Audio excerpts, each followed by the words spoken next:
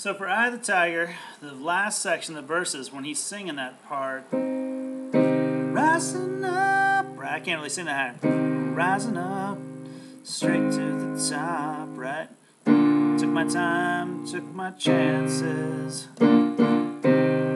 Now that's actually a lot easier than it might seem. You've got right hand, you're just going to go C, D sharp, rising up, again, straight to the top, and then we're to go thumb on B flat, A sharp, and then first finger on D. And then we're to go back to this, and then just one more time. Never changes, right?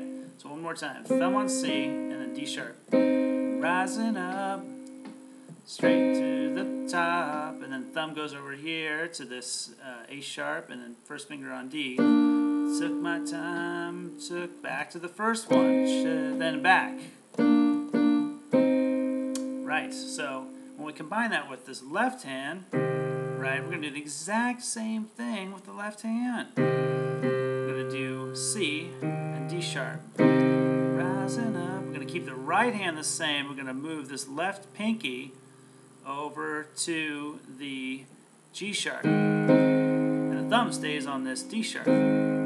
Let's do that again. So C just like the right hand, left hand.